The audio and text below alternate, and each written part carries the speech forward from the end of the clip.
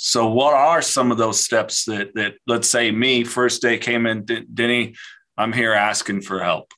Some of that listening um, that we really need to do when we see another human being be across from us, where we can really gauge and find stage appropriate assistance for that person. Where are they at in their recovery? Are they um, pre-contemplative? Are they are they thinking that you know um, maybe that stuff will work for other people, but not for me? Are they are they contemplative? Are they saying that hey, you know what? Maybe there is you know some some help for me and this person might have it so we kind of got to really gauge and fill people out and be there for them um, along the the stages of change that they go through and if you encounter somebody like myself who was at the end of their rope or who was totally committed at the time life is kind of easy but our purpose number one is to not so much expose people to what's worked for us, but to expose people to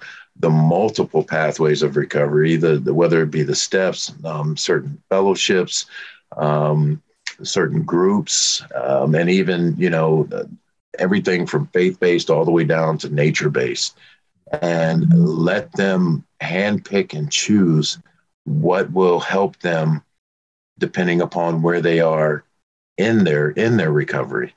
And when I say in their recovery, are they totally abstinent? Are they, you know, is that one of the primary goals? Um, are you know, is there's there's some harm reduction going on to where they're not putting a needle or straw in their in their body, but they're you know experimenting with um, with with marijuana or CBD, you know, whatever the case may be. When when you hear that phrase, meet them where they're at, it, it it's so broad of a stroke. Mm-hmm. And it doesn't necessarily have to deal with attitude. It has to deal with their mental capacity, their physical capacity, their spiritual and emotional abilities or, or capacity at the time. And again, it's really hard to say that this is A, B, C, uh, D uh, key, but the very first thing that everyone needs to do when they do encounter people who want to make change in their life is to just simply be there with them during that change. And that doesn't always necessarily mean giving advice, suggestions, or even offering what may have worked for you or what you know has worked for countless other people.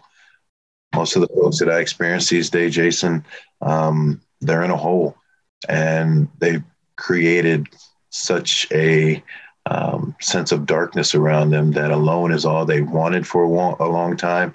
Alone is what they've gotten, and alone is the last thing that they want. This is the Knockin' Doorz Down podcast, featuring celebrities, experts, and everyday people who have overcome adversities, including addiction, mental health, and trauma, to live purposeful lives. And that's what Knockin' Doorz Down is all about.